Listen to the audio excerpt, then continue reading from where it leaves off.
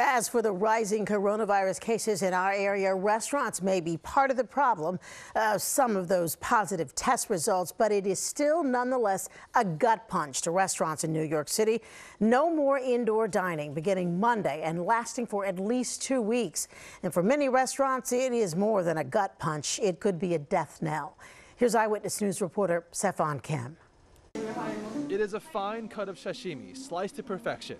This level of sushi, Michelin recommended, is meant to be enjoyed in front of the chef. Not exactly the kind of food meant for delivery or takeout, but come Monday, that's the only way Sushi Daizen in Long Island City, Queens can operate. It has the owner worried they won't survive.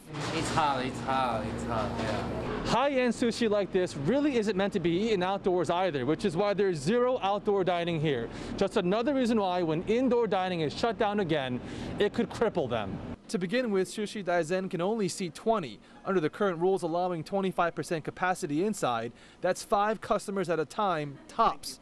Come Monday, no more indoor dining in the city. We're asking everyone to hold on. You know, uh, the end is in sight, but we still have to get there. State officials say indoor dining goes against CDC guidance issued last week, which recommended masks at all indoor locations except inside one's home. The latest round of restrictions could be a crushing fatal blow for the industry.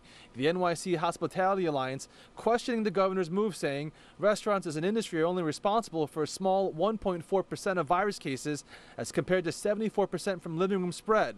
Yet only New York City's restaurants are being closed, even when hospitalization rates upstate are double the city's rate. The data release coming just a day after our 7 on Your Side Investigates team requested it from the state after local health departments refused to turn it over. The governor says his concern in the city is the density and crowding. I, I get it 100%.